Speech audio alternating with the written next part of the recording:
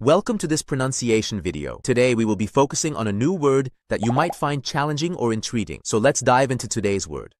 Sud, which means Lather or foam created when soap or detergent is mixed with water.